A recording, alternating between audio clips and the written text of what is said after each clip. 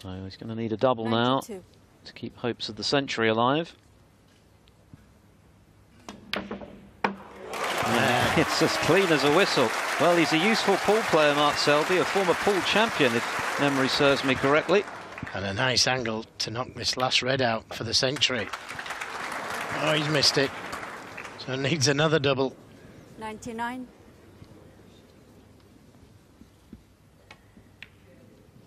Crowd will be willing it in. Is it online? Has it got the pace? Listen to the roar. And the like, smiles as well. They like that one, didn't they?